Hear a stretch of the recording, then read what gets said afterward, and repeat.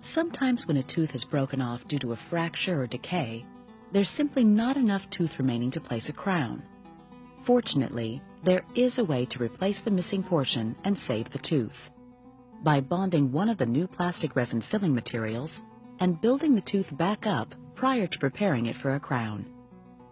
The first step in placing a bonded buildup is making sure the tooth is free of decay. A mild etching solution is placed to prepare the tooth for bonding, and then the resin filling material layer upon layer and hardened with a high-intensity light. Building a tooth up prior to a crown strengthens the tooth, provides better retention for the crown that's placed over it, and may reduce sensitivity by providing insulation for the sensitive inner pulp.